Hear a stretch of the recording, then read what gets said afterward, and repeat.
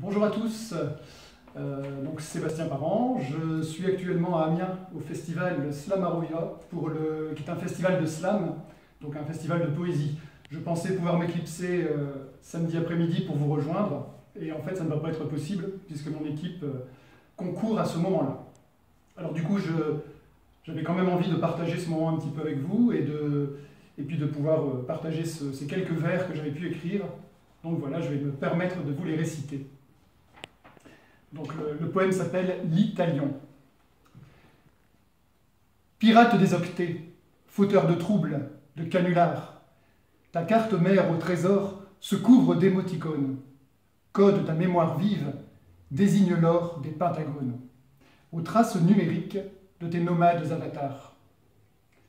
Ton passe-temps favori tient à truffer les processeurs de tes espions haut débit, de tes mouchards furoteurs. Tu sais où taper les codes et les clés à héberger. Tu sais quelle information, quel profil télésnobé.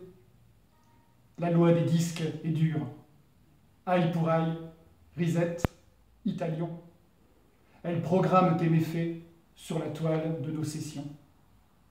Merci.